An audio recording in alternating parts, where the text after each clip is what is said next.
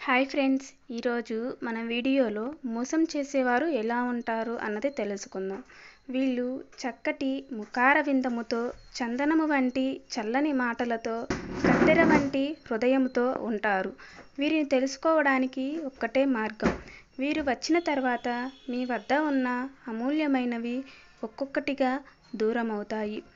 కాబట్టి ఒక్కసారి బాగా ఆలోచించి చూస్తే మీకే అర్థమవుతుంది. మీ పక్కన ఉన్నది శ్రేయోభిలాషో లేక అలా నటిస్తున్నాడో అని.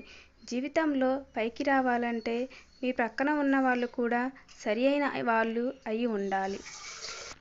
ఫ్రెండ్స్ మీకు ఈ వీడియో నచ్చినట్లయితే please subscribe like share and comment. Thank you for watching.